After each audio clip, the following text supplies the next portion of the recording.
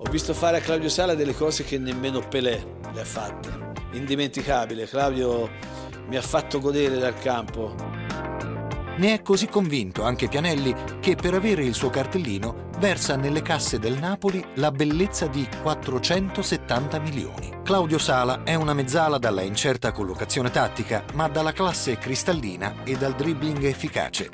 Una forza incredibile sulle gambe, sradicava gli avversari, una facilità di dribbling incredibile. Più veniva assediato, più veniva diciamo circoscritto nel raggio d'azione, più si esaltava quando veniva marcato strettamente. Cadè